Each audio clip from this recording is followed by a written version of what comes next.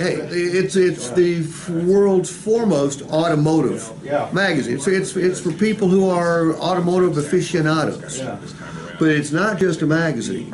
Um, they've got a TV station. They, uh, in fact, they were they were purchased by the Discovery Channel. So the Discovery Channel took one of their channels, made it the Velocity Channel, which is the Motor Trend Channel.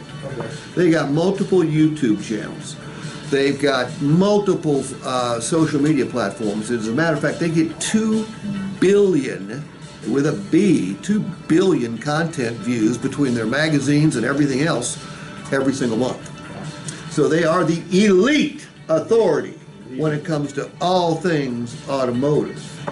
How many, Carl? How many Motor Trend stores are there in the state of Texas? Two. Just two.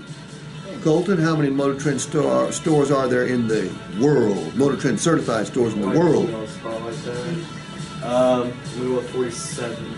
You know, I, I think that's close enough. No, it's 55 or so. It's in the 50s. Isn't Yeah, it? you're fine. You f- stick with 47, okay? yep. Um, some of the finest organizations. the- You're familiar with Galpin, right? Yeah, yeah. Okay. They're all Motor Trend stores. Yeah. Uh, Ford is the number one certified pre-owned store in the country. Seven to eight hundred used cars a month. They're a Motor Trend certified store. The largest automotive group in Missouri, Bommarito, all Motor Trend stores. So Motor Trend stores has we have some elite dealers.